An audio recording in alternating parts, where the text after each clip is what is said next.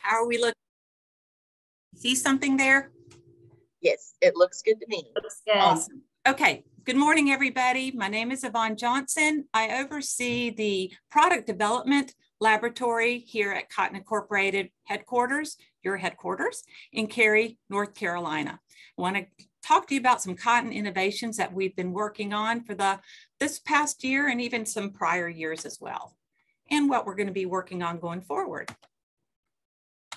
Now, let's see if this thing will advance.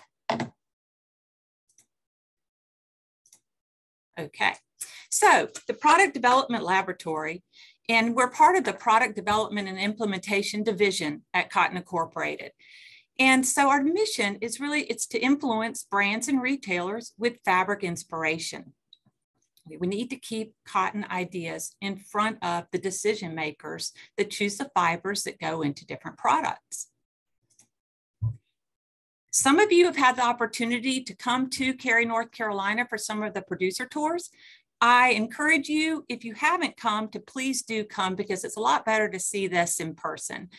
Uh, in the product development laboratory, we have different weaving equipment. It's state of the art and knitting equipment. So we weave, we can do circular knitting and also knitwear. So a lot of different types of products. What we do in the product development department and utilizing this equipment is we develop fabric collections. These fabric collections are to go into clothing and also into home products. And we develop two collections, at least two a year. And here you'll just see a, a sampling of some of the fabrics that I'll be sharing with you during this presentation. And basically it's cotton fabric inspiration. We create toolkits. So think of it as a fabric marketing toolkit. We provide that to our global supply chain division, as well as our consumer marketing division for outreach and to influence the industry.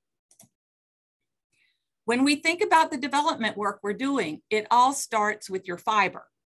The fiber from the field is the most amazing thing because it can be trans, it can be turned into a garment, turned into a fabric without any further processing if you didn't want to. So we start with the fiber, we go into the yarn, we develop the fabric, and the end use will be garments, or it can also be home products. Now, we aren't just kind of here creating pie in the sky. Oh, I think this will be a great idea. We really hone in on what's happening in the marketplace. So I think you've heard presentations by Jon Devine, and um, there's an allocation of how fibers are utilized in the industry. So for if we think about all fibers, um, in not just cotton, but all fibers, the amount of uh, goes into apparel is 75% and home is 20%. Now, if we look on the right, if we break that down, the apparel side, because again, it's 75%, knit tops are 30% of that, and non-denim bottoms, if you think about chinos, um, shorts, things like that, are 20%. And then if we go around here to the left, there's a smaller percentage. You know, you look at jeans and we think jeans is ubiquitous. I mean, of course, most of the cotton goes into jeans, but if we're looking at where we can have the most influence, we're going to be really looking at these knit tops and non-denim bottoms. Because think about it. How many t-shirts or polo shirts do you have and then to go with one pair of pants. And so we really think about our development work that way. And so here are the products that uh, we really focus on. Work t-shirt fabrics, polo shirt fabrics, knits, sweatshirts, hoodies, socks, sweaters, button-down shirts, chinos on the top right, and of course denim. And what you see in the middle is the type of fabric constructions that we work with. Uh, knits on the left, making interlooping uh, stitches, which is very stretchy. That's why you see them in the knit tops. And then on the right, wovens, very stable, very durable constructions. Now, I know that you guys love this slide, and I really pray that none of you actually ever had one of these outfits, but in the 1930s, polyester was invented. In the 1970s, there was a big push, like these photographs you see here that are really terrible. But this is a double knit leisure suit. And this caused a really big problem for the cotton industry. And hence, that's how our uh, research and development program was created to really come together to promote cotton above polyester. So when we think about this polyester or other fibers, there's polyester, there's nylon, there's rayon, all kinds of different synthetic and reconstituted fibers. They're produced in a factory. So here's our beautiful cotton on the top left. On the bottom left, that is a spinneret. It almost looks like you're making spaghetti, but that is producing polyester filaments. You can see they're all the same. They're all coming out of these tiny little holes. The top here in the middle, that is the cross section of your cotton fiber. You can see it looks like kidney shape. They're all kind of different shapes and sizes. And then here on the bottom middle, that is the polyester filament in a cross section. So you can see they're all the same. They're all the same length. They're all the same diameter. And then up top here is a cotton yarn and on the bottom polyester multifilament. So there are characteristics of the polyester that lighter weight, they, they don't absorb any moisture. And so this is our competition and how we have to show cotton and all the things that it naturally does and also enhance it in different ways through textile development in finishing research, in yarn formation. In our division, it's not just the department that I oversee, which is product development. We also have a fiber processing team that really looks at the fiber, creates yarns. We also have a dyeing and finishing department where we take the fabrics that we develop and then we put color on them or very interesting finishes that make us competitive with uh, synthetics. And there's changing market demands. I mean, every if you look at the market, they're looking for lighter weights, uh, breathability, faster drying, sun protection, uh, stretch, insulation, wicking moisture, a lot of different things that cotton, you know, we need cotton to be. And we work on that. So when we are developing our fabric collections, we talk with our marketing team, we do research, we're always scouring through journals. We just got back from a major textile machinery trade show that was held only every four years. This trade show is any piece of equipment you could imagine. It took up 34 football fields. So really staying abreast of what's going on with textile technology is very important. When we develop the fabrics, we're really looking at performance through construction, technologies, and blends. For instance, polyester, you really see a lot of polyester in polo shirts. And it's because it's really kind of um, shiny. I'm not sure why people really like that, but you see a lot of people wearing them. But we developed 100% cotton knits that have just more of a smooth effect. They have a lot of sheen. They are not going to wrinkle. And we developed these 100% cotton knits to compete with synthetics. So we're showing these ideas to the industry and we're influencing them to consider cotton, performance cotton, to go into these these polyester products. Also, just looking at, as I mentioned, knits, so um, kind of a high amount of product that's out there. So we really do develop a lot of knit fabrics in our lab. And here we are developing outerwear fabrics. So looking um, kind of outside the envelope where typically if you think of a hoodie or a fleece, um, sweatshirt would be kind of the, the kind of the loopy, fuzzy type of inside garment. But what we've done here is create different types of fabrics that have insulation, do the construction. Here you see these corrugated effects and also very interesting visual effects that just really entice the brands and retailers to want to use these cotton products. Also, when we develop fabrics, we want them to be versatile and functional. For instance, here, this fabric was developed, it can go into women's wear, it can also go into men's shorts. I'm sure some of you have heard, of, most of you know what a seersucker is. It's usually like a pink and white or a blue and white stripe. Well, in this case, we developed a jacquard construction where less of the fabric is touching the skin, so you have more airflow, so it'll be cooler for summer weather and humid environments. Cotton's natural story is a very effective marketing approach for cotton. We have really honed in on and focused on the natural story of cotton because really it's one of the only fibers that can be taken from the field, trans made into a yarn, made into a fabric without anything else done to it. So this is the natural beauty of cotton. We've woven it and knit it into different very interesting fabrics, a non-denim bottom weight, a really interesting jacket or bed fabric, and on the bottom, a hoodie or jacket fabric. But it's also eco-friendly because we work very closely with our textile chemistry research team to do different types of finishes and um, cleaning up the cotton without using harsh chemicals. So we're really ahead of the game in terms of just showing very eco-friendly, sustainable processes. And really cotton's the only one that can do that. Synthetics are a big problem. If you've been looking in any articles or anything like that, you'll see the problem with microplastics, microfibers. You probably heard Berrye say this in some meetings. It's like, which is very frightening, but apparently we consume a credit card's worth of plastic every week. That is disturbing. So we're really developing fabrics that are alternatives to synthetic fleece. And this is a great when we're looking at a natural fiber blend, combining cotton and wool, two natural fibers that are biodegradable.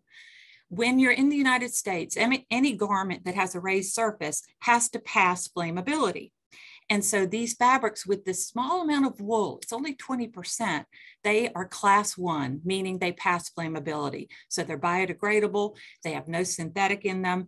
And um, so they're awesome opportunities to get out there in the marketplace in place of polyester. We also develop inspiration for cotton sweaters, just really interesting designs and visual appeal.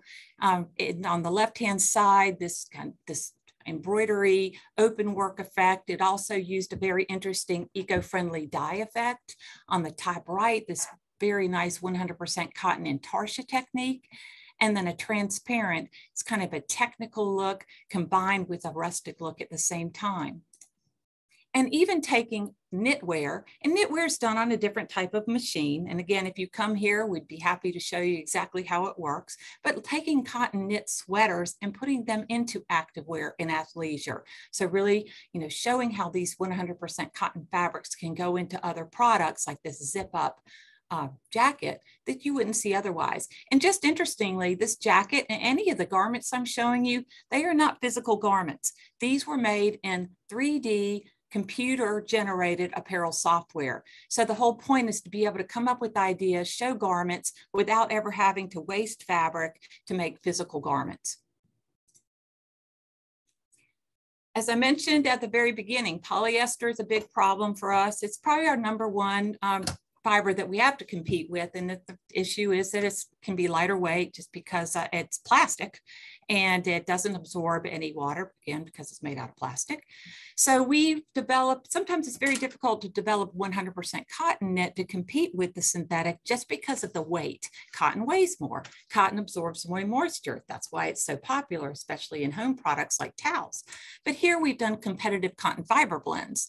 So we've combined cotton, it's at least 60%. We try to keep it at least 60%, and then combined it with some other uh, fibers like as you see on the bottom. We did polyester. We've done natural fibers like wool, nylon, rayon, acetate, spandex for stretch. But the whole idea here is you've got the comfort of cotton on the inside. It's very, very soft. And on the outside, you might have this other fiber that gives it more of a technical, kind of a techie look. And then also it's just going to be um, breathable because of the cotton. And typically it's going to dry faster as well, absorb less um, moisture. Also, we've developed at Cotton Incorporated performance finish technologies.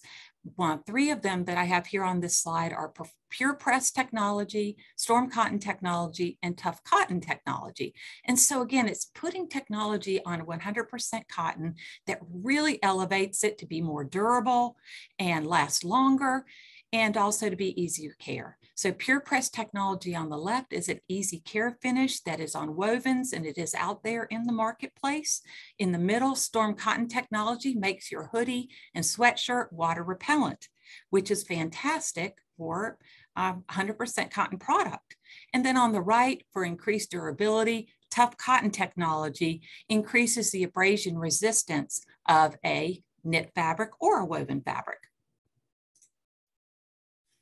And then continuing with performance. Now we get a lot of um, with with synthetics they're mostly synthetic that you see in your fishing shirts that you see a lot of hiking wear so we've really focused on that with our woven development by working on constructions that are breathable and then also incorporating our cotton incorporated finishes on them to make them more competitive. So here you have three fabrics. They're, they're all 100% cotton and they have little holes that were built into the construction. They're permanent openings that cause ventilation. So there's more airflow. Then also we put the storm cotton technology on the fabric. So now it does not absorb as much moisture. So excellent for outdoor hiking activities and fishing. And then also stretch. Again, we're really trying to show ideas as much as possible that are really viable in 100% cotton. And typically, if you're going to have a stretch garment, it's going to have spandex in it. Maybe you've heard the word lycra. And so what we developed here, and this is something that was developed at Cotton Incorporated probably 20 years ago. Some folks on this call had a lot to do with this. And this is comfort stretch in 100% cotton. So it's the way that the fabrics were woven and then the way that they were finished puts in about 10% and even higher amount of comfort stretch, all in 100% cotton and biodegradable.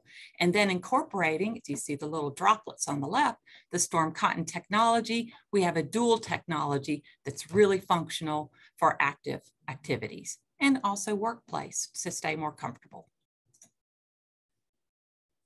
And also, so I said 75% of all fiber goes into apparel. So we really do have to really focus on that, develop a lot of fabrics, show these ideas.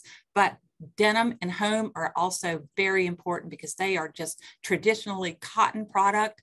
And the companies that produce synthetic, they're trying to get their product into everything. So you might see something out there called bamboo sheets. Well, first of all, it's not bamboo. It's not bamboo that was cut down and turned into a sheet. It's dissolved and then it's turned into a man-made filament or it's a kind of like a synthetic.